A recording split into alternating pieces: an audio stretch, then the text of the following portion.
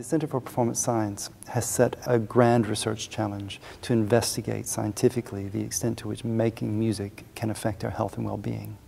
This is important because we need to understand how this ubiquitous activity affects our daily lives. Music making is a really subjective and personal experience and in a way it cuts to the heart of what it means to be a human. So making music offers people an opportunity for expression, for identity building. Music making is a really useful way of bringing together the whole person. We have evidence as far back as Paleolithic times of music being used in healing rituals, and this tracks across the centuries of music being used in hospitals and medical treaties. But it's really only been in the last few decades we've started to see proper scientific research into how music can affect us.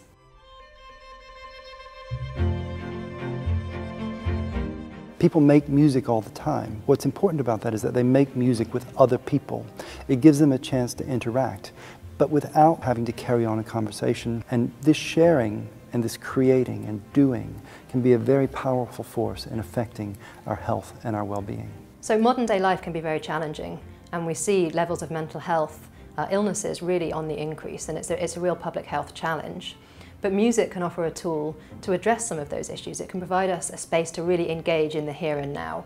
And through our work with older adults and with mental health service users, we've seen many of these things coming through. So for example, when we ask people to fill in standardised measures of their well-being before and after engaging in music, we see increases. And when we talk to them, we see that these increases are down to these issues around engagement, around increased agency, the ability to actually take initiative and take control of your life through doing music regularly. So what we're finding through our research is that music is an alternative tool, I suppose, to some of the more traditional healthcare treatments and models. And it's a very accessible tool as well. It's something that people can do in their communities, uh, in their homes. And if we can find these sorts of alternative tools that are accessible, then we can release some of the pressures on the healthcare system.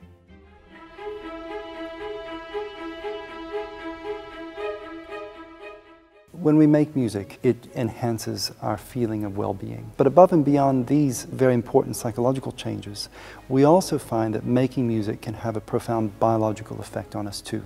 So some people might see testing the health benefits of music as something that's more fluffy or on the peripheral, but in fact what we've found is that these effects that music's having are very tangible and very specific. So we're applying the highest levels of scientific methods and rigour in order to test these in the same way you'd be testing a drugs trial or a therapy trial to really try and work out if music can stand up alongside these other treatments. So we use a range of methodological tools ranging from physiological measures of heart rate, heart rate variability, and biological samples through saliva to test for neurotransmitters, hormones and proteins of the immune system.